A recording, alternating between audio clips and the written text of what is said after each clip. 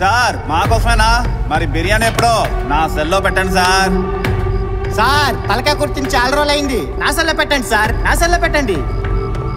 Sir నా బోటి కూర అంటే చాలా ఇష్టం సార్. నా సెల్లో పెట్టండి సార్.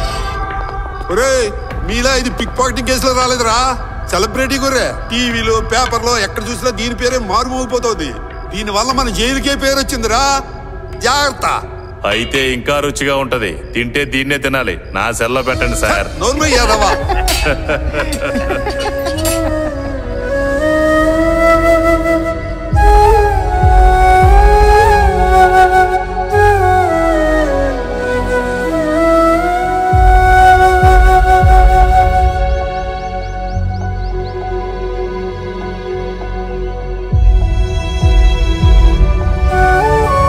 నిమిషం చీకట్లోకి వెళ్ళిపోయిన నా జీవితానికి ఒక వెలుగు కనిపించింది. కానీ తర్వాత తెలిసింది ఆ వెలుగు వెనుక ఒక చీకటి ఉంది.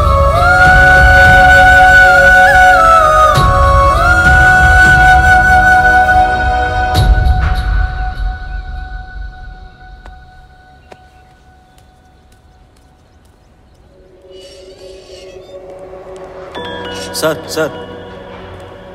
సార్. సార్. మా అమ్మాయి గురించి ఏమైనా తెలిసిందా సార్? ఇంకా ఏం తెలియలేదు రవి. వివరాలు తెలుసుకుందామని మీ పక్కింటికి వెళ్ళా. వాళ్ళు ఊళ్ళో లేరు. నాలుగు రోజులు పోయిన తర్వాత వస్తారంట. కొంచెం ఎలా అయినా కనుక్కోండి సార్. తప్పకుండా కనుక్కుంటా. నువ్వేం కంగారు పడకు. నువ్వు మంచివాడివి. నీకంతా మంచిగా జరుగుతుంది. సరేనా? ఈ ప్రపంచంలో నాకున్న దిక్కు మీరు ఒక్కలే సార్.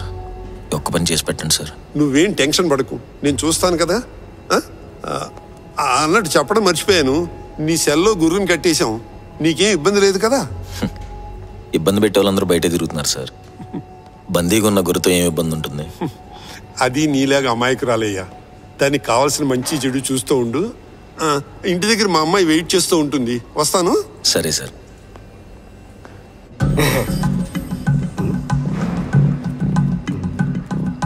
ఓ నీ గుడ్డు.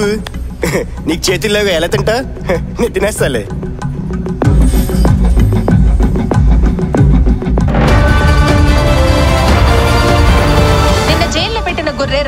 పడుకోలేదు. నీళ్ళు కానీ ఆహారం కానీ తినలేదు.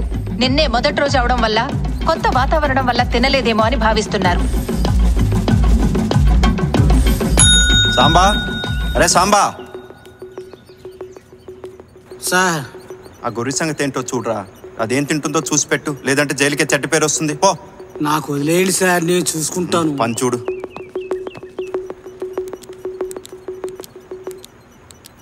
రెండు రోజులుగా ఒక్క మెతుకు కూడా తినని గొర్రె తిననంటే తిననంటూ మారం చేస్తున్న గొర్రె.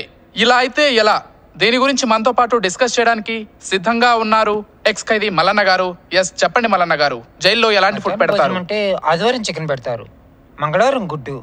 మిగిలిన రోజులంతా కాయగూరలతో సరిపెడతారు. సార్ గొర్రెకి ఇడ్లీ సార్. గొర్రెకి చికెన్ కర్రీ సార్. గొర్రెకి వడలు సార్. సార్ గొర్రెకి జీడిపప్పు upma sir.